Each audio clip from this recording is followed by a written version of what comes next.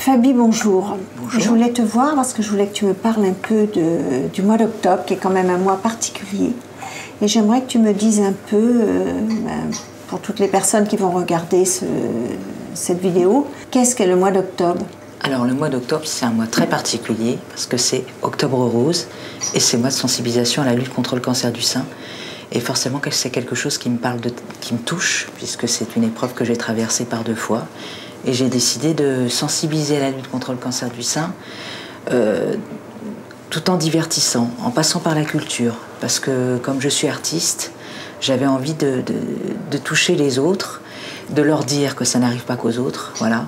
Mais par le biais de, la musique, par le biais d'une chanson d'abord que j'ai écrite, et puis ensuite, euh, voilà, j'ai essayé de, de, mobiliser au sein d'une association que j'ai créée, qui s'appelle Au nom de sel. ce, ce que j'allais te dire, euh, cette association d'ailleurs euh, où tu es la marraine, euh, Sylvie Pedroni en est la présidente et vous, tu fais, je crois, des, des concerts gratuits pour les gens atteints ou qui traversent le, le cancer.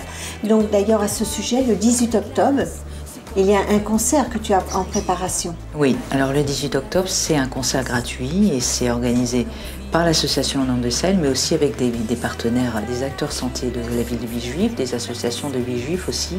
Voilà, c'est une, une soirée qui va clôturer une quinzaine de sensibilisations à Villejuif. Qui a déjà commencé d'ailleurs. Qui a déjà commencé, nous exactement. le 5 octobre. Exactement, puisqu'il y a des conférences, euh, des expositions, euh, voilà, des- plein- tout un tas d'a- d'actions euh, qui vont sensibiliser à la lutte contre le cancer du sein. Et donc il y a ce concert du 18 octobre qui a lieu euh, au portail 77 avenue de Paris, à Villejuif, À 20h30, je crois.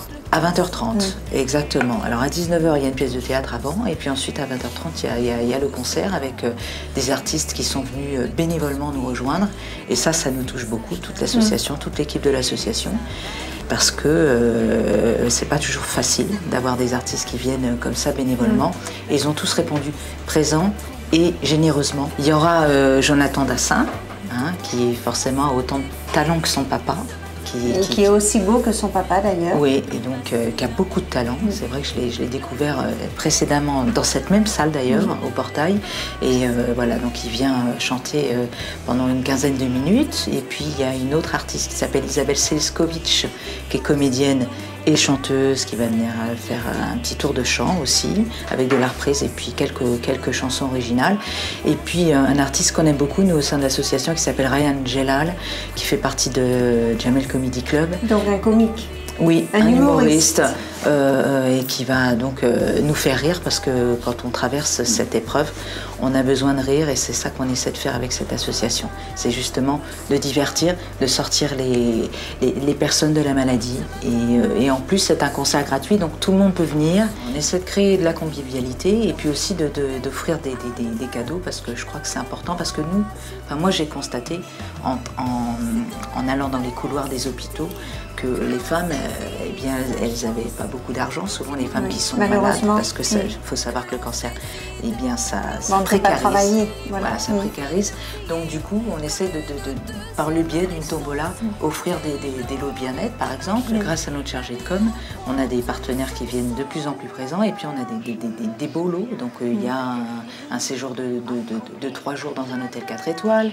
Il y a, euh, par exemple, un lot avec un shooting pour euh, d'une valeur de 400 euros. Il y a, des, il y a des produits de maquillage euh, de luxe. Euh, voilà, on essaie vraiment de, de- de- de- de faire plaisir et de faire plaisir surtout aux femmes. Et puis, euh, et puis voilà, donc la tombola, c'est- très important.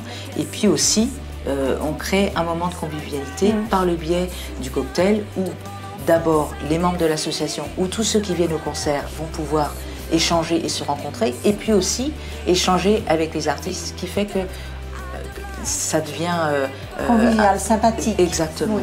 C'est l'espoir.